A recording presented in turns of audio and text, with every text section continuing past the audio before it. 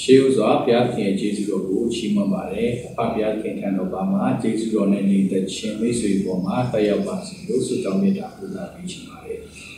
ယနေ့တော့ကျွန်တော်တို့ဘဝအထွေထွေတရားဖြေဆိုတဲ့အခမ်းကဏ္ဍကိုဆက်လက်ပြီးတော့မှဆင်ခြင်ခွန်အားယူရင်းနဲ့ကျွန်တော်တို့အဖြေရှာကြည့်ကြဖို့ဖြစ်ပါတယ်ပြီးခဲ့တဲ့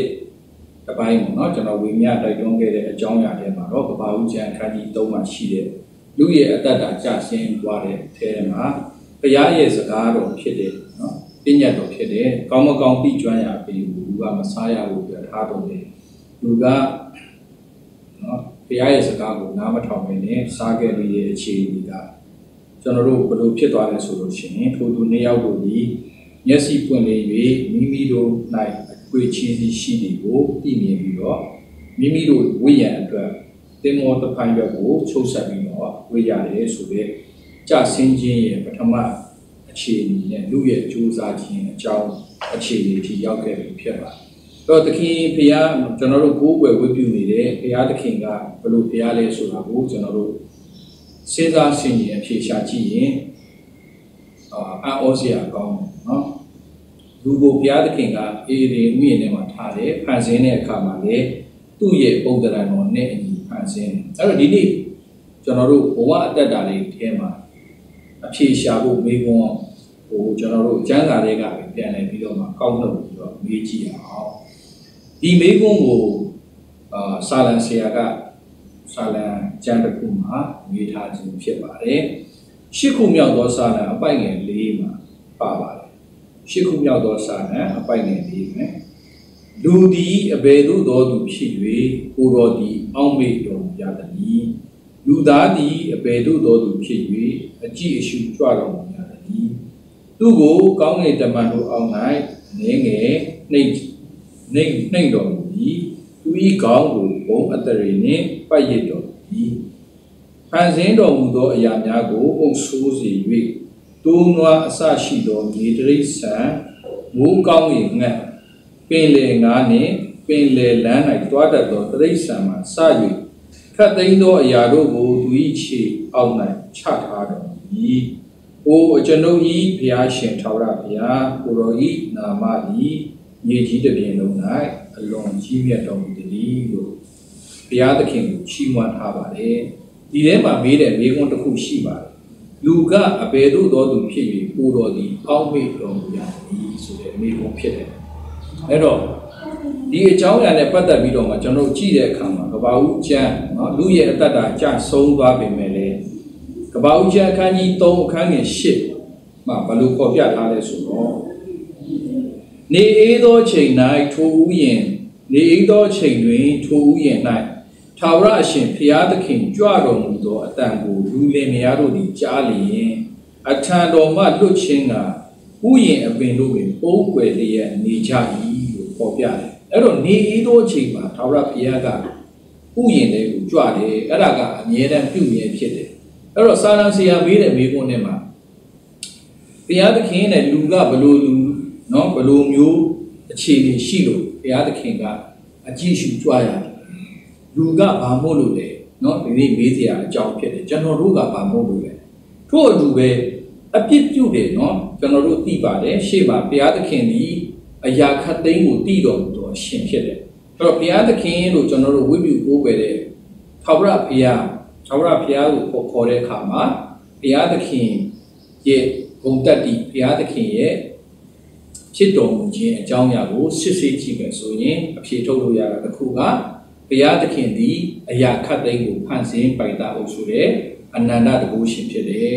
အရာခတ်သိမ်းကိုတတ်နိုင်တော်မူသောအရှင်ဖြစ်တယ်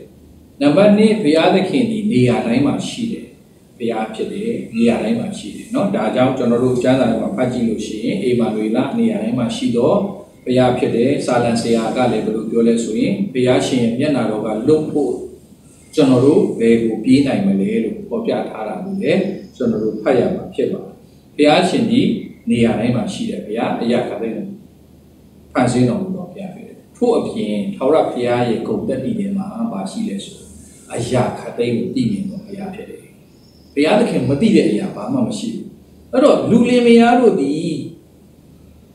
အပြစ်ပြုတဲ့အခါဘုရားရဲ့စကားကိုနားမထောင်ပြီးဘဲနဲ့ဘဘုရားသခင်မှာစားစီခြင်းတော့အပြီးကိုစားလိုက်မိပြီဆိုတာဘုရားရှင်မသိပဲမနေပါဘူးသိပါတယ်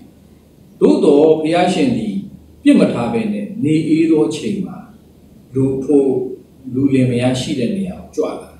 ပုံမှန်ဆိုရင်ကျွန်တော်တို့ဘာတွေ့ရလဲဆိုရင်ကျွန်တော်တို့ကြီးမြတ်တဲ့လူဆိုကျွန်တော်တို့ကသွားတွေ့ရတယ်ဘုရားရှင်ကတော့ သူကဆင်းလာပြီးတော့လူတွေကိုဒါတွေ့တာဖြစ်တယ်။ဒါကြောင့်မို့လို့ဆာလဆရာကမေးတယ်ဖះရှင်ထာဝရဘုရားလူကဘလို့ဘလို့လူလေနော်ဘလို့အခြေအနေရှိတယ်လေ။ဘာမို့လို့ဘုရားသခင်ကအကြည့်ရှုကြွတော်မူရသည်နည်းလို့ဘုရားသခင်ကိုမေးထားခဲ့ပါတယ်။ဘုရားသခင်ကလူကိုချစ်တဲ့အတွက်နော်လူကတော့ဘုရားသခင်မကြိုက်တာလုပ်မိတဲ့အခါမှာ ဘာတွေ့ရလဲဆိုတော့အထံတော်ကလွတ်ခြင်းကပြေးတယ်ရှောင်ပြေးတယ်ပုံတယ်ပုံနေတယ်ဒီနေ့လည်းကျွန်တော်တို့ဓမ္မသချင်းတွေတီးဆိုတဲ့အခါမှာဘုရားရှင်ရဲ့ထံတော်ဘုရားသခင်ရဲ့မျက်မှောက်တော်နဲ့သက်ဆိုင်ပြီးကိုယ်တော်ချီးမွမ်းတဲ့အရာတွေတွေ့ရတယ်ဘုရားသခင်ကိုနော်ဘုရားသခင်ရဲ့စကားတော်ကိုနားထောင်ပြီးဘုရားသခင်အမိန့်တော်တိုင်းလိုက်လျှောက်သက်ရှင်တဲ့လူတွေရဲ့အတ္တတာဘုရားရှိတော်မှာကိုတိုးဝင်ရှင်းကပ်ဖို့ရအတွက်မခက်ခဲပေမဲ့ဘုရားသခင်ကိုနားမထောင်တဲ့သူတွေ အပြစ်ပြုတာများတဲ့လူတွေနော်ဘုရားသခင်မကြိုက်မနစ်တတ်တဲ့လမ်းကိုရွေးချယ်ရှောင်လန်းမိခဲ့တဲ့လူတွေရဲ့အတ္တတာဟာအမြဲတမ်းဘုရားသခင်ကြွလာလို့နော်လူကိုခေါ်ပြီးတော့မှတွေ့မယ်ဆိုရင်တော့မှဘုရားသခင်ကအကြည့်ရှုကြွလာတော့လူကမတွေ့ရဘူးဆိုတဲ့အဖြေကိုလည်းကျွန်တော်တို့ရပါတယ်။ဒါကြောင့်မလို့ဒီကနေ့ကျွန်တော်တို့ချစ်စွာသောညီကိုမောင်နှမတို့ကျွန်တော်တို့ဘဝထဲမှာဘုရားသခင် နဲ့အဆက်မပြတ်စေကိုဘုရားသခင်ရှိတော်မောင်းမှာရဲရဲဝံ့ဝံ့နဲ့ကောင်းမှာကောင်းမွန်စွာနဲ့နော်ဘုရားသခင်ကလာတွေ့တဲ့အခါမှာကျွန်တော်တို့အတွေ့ခံနိုင်တဲ့လူတွေဖြစ်ရအောင်ကျွန်တော်တို့အသက်တာကိုဂရုစိုက်လိုအပ်ပါတယ်။ဘာဖြစ်လို့လဲဆိုတော့ကျွန်တော်တို့ရှင်ဟောခရစ်ဝင်ခန်းကြီး30ငွေ30မှာပေါ်ပြထားတဲ့ကျမ်းစာတွေအတိုင်းကျွန်တော်တို့အနေနဲ့ဖတ်ကြည့်ရအောင်။ရှင်ဟောခရစ်ဝင်ခန်းကြီး30ခန်းငယ်30မှာဒီလိုပဲပြောပါတယ်။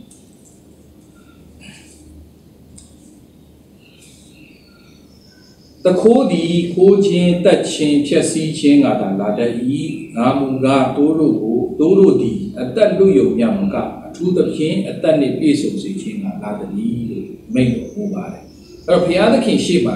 ကျွန်တော်တို့အသက်ရှင်တဲ့အခါမှာတခိုးကတော့ခိုးဖို့တတ်ဖို့ဖြက်စီးဖို့ကြံစီနေတဲ့အထဲမှာရှိတော်လေဘုရားသခင်သခင်ယေရှုဘုရားကိုလက်ခံယုံကြည်ကြတဲ့ကျွန်တော်တို့ရဲ့အသက်တာမှာဘုရားသခင်ရဲ့တိုးတော်စုဖြစ်တဲ့အတိုင်း ဘုရားသခင်ဆက်လက်ပြီးတော့မှကောင်းချီးပေးပြီးတော့ဘုရားရှိတော်မှာမှာအသက်လွတ်ရုံနဲ့မကအထူးသဖြင့်အသက်နဲ့ပြည့်စုံစေဖို့ရဖြစ်တယ်ဆိုတာကျွန်တော်တို့နားလည်ခံရပါတယ်။ဒါကြောင့်ကျွန်တော်တို့တွေဒီဘုရားသခင်ရှေ့ကနေထွက်သွားတော်သူများမဖြစ်ကြဖို့ရနော်ဘုရားသခင်ရဲ့စကားတော်အတိုင်း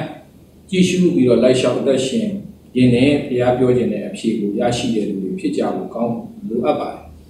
ဆက်လက်ပြီးဖတ်ကြည့်တဲ့အခါမှာထာဝရအရှင်ဘုရားသခင်ကလည်းတင်တို့သည်အဘယ်မှာရှိသနည်းလို့လူကိုခေါ်တဲ့အခါမှာလူသည်ဥယျာဉ်၌ကိုရောဤအတန်ကိုကြားလျင်ကျွန်တော်ကြားလျင်အဝိချီးသည်ရှိသောကြောင့်ကြောက်၍ပုံနေပါလေလို့ပြန်ပြီးတော့ဖြေပါတယ်ဒီမှာဘာပေါ်ပြလဲဆိုတခင်ဘုရားသခင်ကမိကုံးမေးတယ်မိကုံးမေးတဲ့အခါမှာဘာဖြစ်လို့လဲဆိုတော့သူတို့ကိုယ်တိုင်ဖြစ်နေတဲ့အခြေအနေကိုဝန်ခံစေခြင်းလို့ဖြစ်တယ်လို့ကျွန်တော်တို့ဒီလိုပဲနားလည်ရတယ် အဲ့တော့တစ်ခါတည်းမှာကျွန်တော်တို့ကိုလည်းဘုရားသခင်မေးဖို့မေးတဲ့အချိန်ရှိတယ်မင်းဘယ်လိုလုပ်နေလဲဒါမင်းဘယ်လိုအသက်ရှင်နေလဲဆိုတာကျွန်တော်တို့ကိုပေါ်ပြစီတယ်အဲ့တော့ကျွန်တော်တို့လူကတော့ဘယ်လိုဖြစ်လဲဆိုတော့ကြောက်လို့ပုံနေတဲ့အကြောင်းကိုပြန်ဖြေပြီးတဲ့အခါမှာဘုရားသခင်နောက်ထပ်တစ်ဆင့်ထပ်ပြီးတော့မေးဖို့မေးတယ်ဘုရားသခင်ကလည်းတင်၌အဝိချီတီရှိသည်ကိုဘယ်လိုပြောတယ်လဲနော်မစားရဘူးငါပြည့်ညတ်တော့အပင်အပြီးကိုစားပြီးတော့မေးတဲ့အခါမှာလူကဘယ်လိုပြန်ဖြေလဲဆိုတော့ လူကလည်းတဲ့ကျွန်တော်၌အပ်ပေးတော်မူသောမိမသည်ထိုအပင်အသီးကိုပေးတော့ကြောင့်ကျွန်တော်စားမိပါတယ်လို့ရှောက်ရှောက်တယ်ပြန်ဖြေတယ်နော်ဒီမှာလည်းအဖြေပါပါတယ်မိကွန်းလည်းပါပါအဲ့တော့ဘုရားပြောတဲ့မေးတဲ့မိကွန်းတိုင်းကိုလူကပြန်ဖြေတယ်ဖြေတဲ့အခါမှာဘယ်လိုပဲပြောလဲဆိုရင်ကျွန်တော်မှားသွားတယ်ကိုရောကျွန်တော်ခွင့်လို့ပါလို့တောင်းပန်ရမယ်အစားဝန်ခံရမယ်အစားနောင်တရရမယ်အစားဘုရားကိုရောပေးထားတဲ့အမျိုးသမီးကြောင့်ကျွန်တော်ဒီလိုဖြစ်တာနော်လို့ဘုရားကိုပြန်ပြီးတော့ အဖြစ်တင်တကယ်လို့ပြောတတ်တဲ့လူရဲ့သဘောတသဘောအခြေအနေကိုနော်ကျမ်းစာထဲမှာအဖြေပေးထားပါတယ်။ဒါကိုဘုရားသခင်ဘာမှမပြောခဲ့သေးဘူး။နောက်ထပ်အမျိုးသမီးဖြစ်တဲ့မိမကိုမေးတဲ့အခါမှာဘာလို့ရှင်ဘုရားသခင်ကလည်းတင်ဒီအဘယ်သို့ပြုသည်နည်းဟုမိမအမေးတော်မိမကလည်းငွေဒီကျမကိုလှည့်စား၍ကျမစားမိပါတယ်လို့ပြန်ပြောတယ်။ဟုတ်ပါတယ်ကျမစားမိပါတယ်လို့မပြောဘဲနဲ့ ကိုယ့်အကူစားတဲ့အကြောင်းအရာကိုဝင်မခံဘဲနဲ့နော်ငွေကလာလိန်လို့စားတာပါကျမစားခြင်းကိုစားတာမဟုတ်ပါဘူးလို့တစ်ဖန်ပြန်လဲပြီးတော့မှသူများကိုအပြစ်ဖို့တယ်။ဒါကြောင့်ဝယ်လာမသိဘူးကျွန်တော်တို့ပတ်ဝန်းကျင်မှာတစ်ခုတချို့ချို့သောကိစ္စတွေဖြစ်ပေါ်လာတဲ့အခါမှာကျွန်တော်တို့ဘယ်အရာမှမနော်ကျွန်တော်တို့ကိုယ်တိုင်တာဝန်ယူပြီးဖြည့်ရှင်းတာနော်ရှားတယ်ပေါ့နော်အဲ့လိုပုံသဏ္ဍာန်နဲ့အသက်ရှင်ပြီးတော့ဘုရားသခင်လျှောက်လန်းစေခြင်းနဲ့ပုံသဏ္ဍာန်နဲ့မလျှောက်လန်းဘဲနဲ့များသောအားဖြင့်သူတစ်ပါးရဲ့အပြစ်ကိုပဲကျွန်တော်တို့ပုံတတ်တယ် နော်သူများကိုပဲကျွန်တော်တို့အပြစ်ဖို့တယ်အလေးအကျင့်ကအဲ့ဒီရှေ့ကဘာဦးလူသားများဖြစ်တယ်နော်ကျွန်တော်တို့မိုးဘေးတွေဖြစ်တယ်လူအာဒန်နဲ့လူအေးဝါတို့ရဲ့အသက်တာထဲမှာကိုကတွေ့ရတာတွေ့ရနော်ကျွန်တော်တို့ဖတ်ရပါတယ်အဖြေရပါတယ်အဲ့ဒီတော့ဘုရားသခင်ကအဲ့ဒီအချိန်မှာနော်သူတို့ရဲ့သူတို့ရဲ့အဖြေပေးမှုအပေါ်မှာပဲဘုရားသခင်ကဆက်ပြီးတော့မှစီရင်ရတယ်။ဟောကျွန်တော်တို့အဖြေပေးတဲ့အရာကဘုရားသခင်စီရင်ဖို့အတွက် ကျွန်တော်တို့ဖြေပေးလိုက်တာရတာနဲ့တူတယ်။ဘာနဲ့တူလဲဆိုတရားခွင့်မှာကျွန်တော်တို့တရားသူကြီးကတရားခံကိုစစ်ပေးတဲ့အခါမှာကျွန်တော်တို့ဘယ်လိုဖြေတယ်လဲရတဲ့အဖြေတွေပေါ်မှာမူတည်ပြီးတော့တရားခံကိုဟောတရားသူကြီးကစီရင်ရတယ်လို့ပဲဖြောက်ပတ်ခြင်းရဲ့အရှင်ဘုရားသခင်ကဒီလူလင်မယားကိုစီရင်တဲ့အခါမှာသူတို့ပြောတဲ့စကားအတိုင်းပဲစီရင်တာကိုတွေ့ရတယ်။ ထာဝရရှင်ဘုရားသခင်ကလည်းငွေကိုခေါ်၍တင်းသည်အေမှုပြုသောကြောင့်တားရင်တားရဲ့အပေါင်းတို့အတွက်ကျင်းချင်းကိုခံရပြီးတဲ့အခါမှာဝမ်းဖြင့်မြေမှုမြေပေါ်မှာသွားရတယ်။မြေမုတ်ကိုတသက်လုံးစားရမယ်လို့ကျင်းချင်းကိုခံခဲ့ရတယ်။နော်တင်နဲ့တင်းမိမတင်နဲ့မိမကို၎င်းနဲ့တင်းအမျိုးနဲ့မိမကို၎င်းရံပတ်ပြုစေပြီဆိုတဲ့အကြောင်းအရာကိုလည်းရှေ့ဖြစ်လာတဲ့တန်တော်အမှုရာကိုဆက်လက်ပြီးမိန့်တော်မူခဲ့တယ်။အခန်းငယ်16မှာဗိမာကိုလေကိုဝင်ဆောင်ခြင်းဝေဒနာကိုပွားများစေတယ်။ ပင်မန်းစွာဝေးဖွားရတဲ့ဝေဒနာဖွားဝေဒနာနဲ့သားဖွားရတဲ့အခြေအနေဖြစ်လာတယ်။ခင်မွန်းတယ်ရဲ့အလိုကိုလိုက်ရမယ်။နော်အရင်တော့ကတော့အခြေအနေကကြည့်ရတာဒန်းတူပဲဟုတ်လား။ဒန်းတူပဲသို့တော်လည်းအဲ့ဒီအချိန်မှာဘုရားသခင်ဗာပြည့်ညတ်ထားတယ်ဆိုတော့ဘုရားစကားကိုနားထောင်ရမယ်ခင်မွန်းတယ်ရဲ့စကားကိုနားထောင်ပြီးတော့အုပ်ဆိုးခြင်းကိုခံရမယ်တာဖာခြင်းဝေဒနာကိုခံရမယ်လို့เนาะဒီပြစ်ဒဏ်ကိုချမှတ်ခဲ့တယ်ဆိုတာတွေ့ရတယ်အခန်းငယ်16ပါနောက်ဆုံးယောက်ျားကို ဘုရားသခင်ကဘယ်လိုပြောလဲဆိုတော့ထိုအပိအသီးကိုမစားနဲ့ဘူးငါပြည့်ညတ်တော်လေတင်းဒီမယားဤစကားကိုနားထောင်ပြီးစားမိသောကြောင့်ညီဒီတင်းအတွက်ကြင်ချင်းကိုခံလျက်ရှိဒီနေရာမှာပြောတယ်နော်ကျွန်တော်ကဖြည့်ပေးတဲ့အဖြေမှာတခင်ဘုရားသခင်မေးတဲ့အခါမှာယောက်ျားဖြေတဲ့အဖြေကကိုတော်ပေးသောဤမိန်းမကကျွေးလို့စားပါတယ်လို့ပြောတဲ့အတိုင်းပဲဘုရားသခင်ကပြန်ပြီးစီရင်တဲ့အခါမှာ ငါကမင်းကိုပြည့်ညတ်ထားပေမဲ့ငါစကားကိုနားမထောင်ပဲတင်းဒီမယားဤစကားကိုနားထောင်ပြီးစားမိတဲ့အတွက်နော်မြေကြီးကချိန်ချင်းခံတယ်တနှစ်ပတ်လုံးမှာတသက်လုံးမှာပင်ပန်းစွာလှုပ်လှုပ်ပြီးမှစားရတယ်စူးမြအမျိုးမျိုးအဲ့ချိန်မှာပေါက်လာတယ်နော်မျက်နာကချွေးထွက်ပြီးတော့မှအစာစားရတယ်အကြောင်းကတင်းရေမုံဖြစ်ပြီးရေမုံကိုပြန်ရမယ်ဆိုတော့နောက်ဆုံးဒီစီရင်ချက်ကိုလူအတွက်နော် လူအတွက်ချထားလျက်ရှိတယ်။အဲ့ဒီအချိန်ကစပြီးတော့လူရဲ့အတ္တတာမြေပုံဖြစ်တော့ကြောင့်မြေပုံကိုပြန်ရမယ်ဆိုတာဒီစကားကစလာပါတယ်။နောက်ဆုံးကျွန်တော်တို့အတ္တတာတည်ဆုံးပြီးတော့မှသာပနာဝိတ္တိပြုတဲ့အခါမှာလည်းဒီစကားလုံးကိုကျွန်တော်တို့ထည့်ပြီးအသုံးပြုတာ။အဲ့တော့ဒီအကြောင်းအရာကိုကြည့်တဲ့အခါမှာနော်ကျွန်တော်တို့ဒီနေ့ဖတ်သွားတဲ့အခါမှာဘာတွေပါနေလဲဆိုရင်အမေးဖြေလေးပါနေတယ်။အမေးဖြေတိုင်းမှာလည်းဘုရားသခင်ကမေးတဲ့အခါမှာကျွန်တော်တို့ပြန်ဖြေရမယ့်အဖြေဒီ ဘုရားသခင်လိုချင်တော့ဖြည့်ဖြစ်ရတယ်။နော်တခါတလေကြတော့ကျွန်တော်တို့ဖြည့်ချင်တဲ့အရာဖြည့်တယ်ကျွန်တော်တို့လုပ်ချင်တာလုပ်ခဲ့တယ်။ဒါကြောင့်မလို့လူရဲ့အသက်တာကြဆင်းပြီးတော့နောက်ဆုံးဘုရားသခင်နဲ့တွေ့ဖို့ဘုရားလာတဲ့အချိန်ဘုရားသခင်တွေ့ဖို့တော့မှပြင်ဆင်တဲ့အရာမှာလူကဘုရားနဲ့မတွေ့ရတော့ဘဲနဲ့ဘုရားရဲ့မျက်မှောက်ကိုရှောင်သွားဖို့အတွက်ဖြစ်တယ်အဲ့တော့ပြီးခဲ့တဲ့တစ်ပတ်ကျွန်တော်တို့ပြီးခဲ့တဲ့တစ်ခေါက်မှာလေ့လာတဲ့အခါမှာတော့လူကရှက်မိမိအရှက်သိက္ခာကို ဟိုလုံဖို့အတွက်ပေါ့နော်တင်းမောတဖန်ရွက်တွေနဲ့ချုပ်ဆက်ပြီးတော့မှခါမှာလုံစူးစမ်းပြီးပြင်ဆင်တယ်ကြိုစူးစမ်းပြီးဖုံးကွယ်တယ်အဲ့ဒါလူရဲ့အကြံစီဖြစ်တယ်အဲ့တော့ဒီနေ့မှာကျွန်တော်တို့ဖတ်ရတဲ့ကျမ်းစာမှာเนาะဒီကပ္ပဦးကျမ်းခန်းကြီး3ရဲ့အခန်းငယ်21ဆိုတာတစ်ပိုက်ခဲတက်တက်လေးရှိပါလိမ့်မယ်မြန်မာလိုဖတ်တဲ့အခါမှာကျွန်တော်တို့တွေ့ရတယ် ထာဝရအရှင်ဘုရားသခင်ဒီလေလူလင်မယားဖို့တရေဖြင့်ဝိလုံကိုလုပ်ပြီးခြုံစီတော်မူ၏အဲ့ဒါကဘုရားသခင်ရဲ့အကြံအစီနဲ့လှုပ်ဆောင်ပေးခြင်းဖြစ်တယ်တော့တစ်ဖက်မှာတော့တရားပြတတ်တဲ့အရှင်ကသူတို့ပေးတဲ့နော်ဘုရားသခင်မေးတဲ့မေးခွန်းပေါ်မှာသူတို့ဖြေတဲ့အဖြေအတိုင်းဘုရားသခင်ကစီရင်ပေးတယ်